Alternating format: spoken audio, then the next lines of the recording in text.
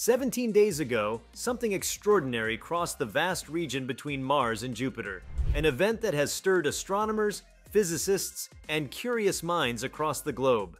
The James Webb Space Telescope, positioned nearly a million miles from Earth and peering deep into space with unprecedented clarity, was in the right place at precisely the right time. What it captured was not a known comet or asteroid, nor a rogue planet or a fragment from the Kuiper Belt. What crossed the orbital plane between the red planet and the gas giant was something that didn't fit neatly into any of the categories scientists have cataloged for centuries. Before we start, smash the like and subscribe buttons for more updates. It began as a flicker, barely distinguishable from the cosmic background. The Webb's mid-infrared instruments picked up a heat signature that didn't match any known object cataloged in the Minor Planet Center, or existing databases of celestial bodies. As it drew closer into the field of view, the telescope tracked its movement with growing precision, revealing a fast-moving anomaly with characteristics never before documented in the solar system. The trajectory, speed, and the curious spectral fingerprint of the object raised immediate questions. What was this thing? And how did it come to pass through one of the most stable and well-mapped regions of our solar system? Situated between Mars and Jupiter is the asteroid belt, a vast toroidal region populated by countless rocky bodies and dwarf planets. While many objects drift through it, most remain gravitationally bound within this belt. For something to move across this area at such velocity, without being deflected or captured, suggests either an immense force propelling it or origins that defy typical celestial mechanics. The object didn't appear to slow down, veer off course, or exhibit any signs of tumbling or fragmentation. Instead, it sliced across the belt with uncanny precision, as though following a calculated path. The Webb's imaging suite detected a strange reflectivity on its surface. It wasn't entirely metallic, nor was it the dusty regolith seen on asteroids or comets. The material appeared composite, reflecting infrared and ultraviolet light in inconsistent patterns. Even more peculiar was its temperature, higher than a typical spacefaring body not in close proximity to the sun. Not so hot as to be molten, but warm enough to suggest either recent exposure to stellar radiation or some form of internal energy. This anomaly challenged every known principle of passive solar heating in deep space.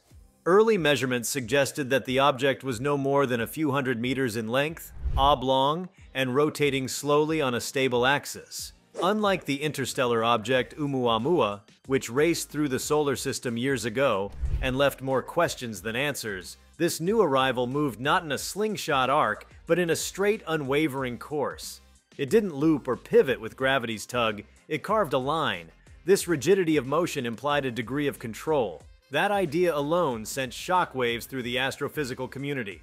There was no sign of a tail, no debris trail, and no outgassing, common features for icy bodies. It wasn't cometary, nor was it erratic like many small asteroids. Its behavior was orderly, consistent, and yet utterly foreign. When scientists analyzed the light spectrum bouncing off the object, they noted spikes in wavelengths associated with rare Earth elements, elements not commonly found in natural solar system bodies, at least not in such combinations. This opened a torrent of speculation. Could this be artificial? Could it be a probe or even something more advanced? These questions, once confined to speculative fiction, suddenly felt grounded in empirical data. As the object crossed the midpoint between Mars and Jupiter, Webb was able to gather additional data on its velocity and trajectory. It wasn't decelerating. In fact, Calculations indicated it had maintained a constant speed since entering the outer solar system. This was problematic for Newtonian physics, which expects long-range objects to show subtle gravitational acceleration, or deceleration, depending on solar proximity.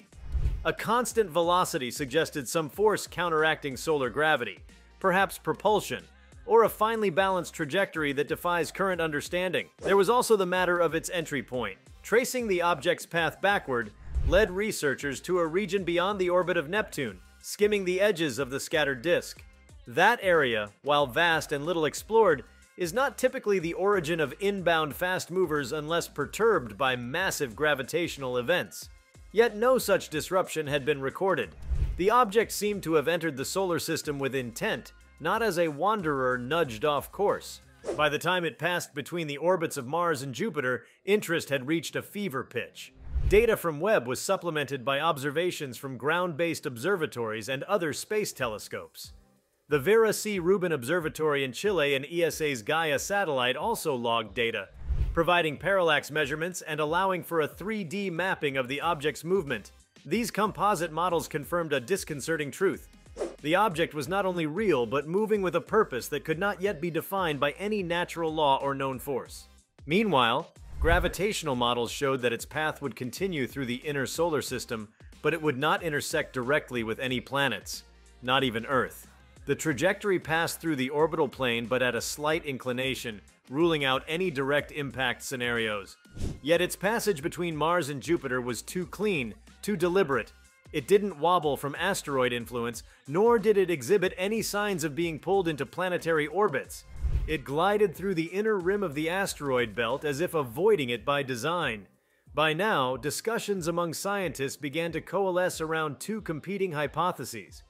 The first, more conservative, suggested this could be a fragment of an ancient unknown solar system body, perhaps from a moon that shattered eons ago, or even a relic from the solar system's formative years, only now making its first close pass toward the sun.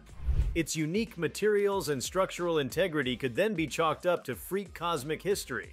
The second hypothesis was more provocative, that the object might be of artificial origin, possibly an artifact of extraterrestrial technology, or even a derelict probe sent eons ago from a distant star system.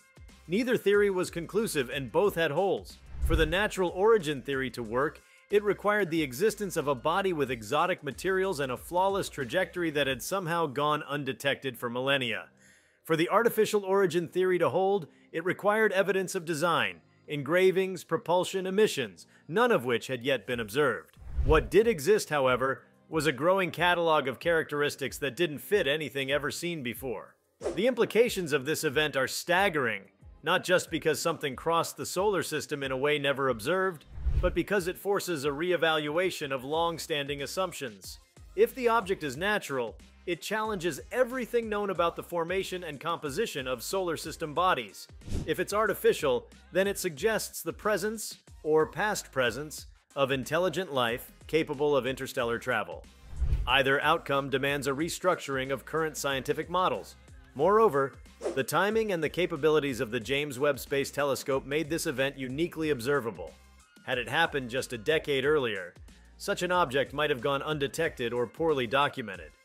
Webb's high-resolution instruments allowed not only for tracking, but also for spectroscopy and temperature mapping, giving scientists a detailed portrait of the object as it moved through one of the most well-studied regions of space. This wasn't a blurry dot.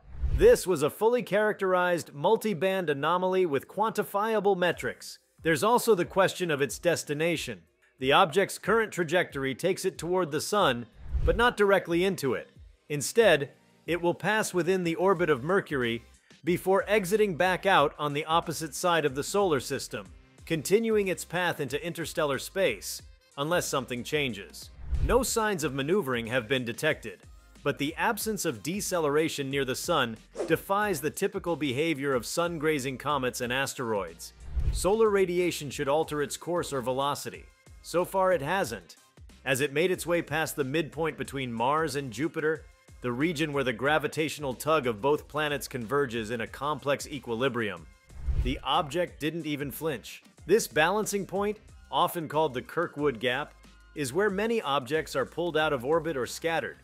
This one remained steady, like it had plotted a course designed to minimize gravitational interference.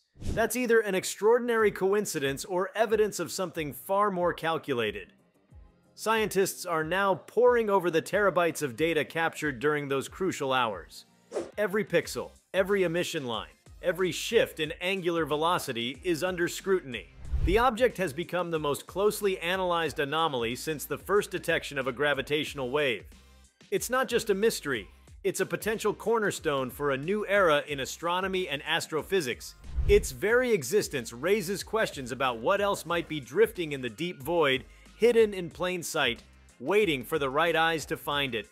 Even seasoned astronomers, long trained to temper their excitement with caution, are voicing astonishment.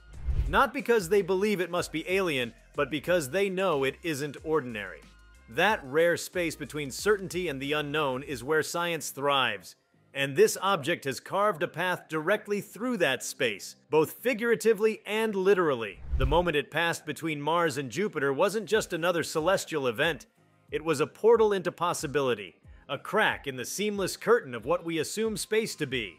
Something just crossed through the heart of our solar system, and it didn't behave like anything expected. The implications will reverberate for decades, the theories will evolve, the data will be revisited, and future telescopes will be recalibrated in light of what the James Webb telescope saw. But for now, the object continues on, silent and steady, leaving behind not destruction or transformation, but a lingering question that resonates through every observatory and lab on Earth. What crossed between Mars and Jupiter was more than just a celestial traveler. It was a messenger of mystery, of science, and perhaps of something more. If you liked this video, please give it a like and subscribe to our channel. Also, leave your comments below and tell us, what are your thoughts on it crossing Mars-Jupiter? Will JWST reveal aliens? We want to hear from you. Thank you for watching and see you next time.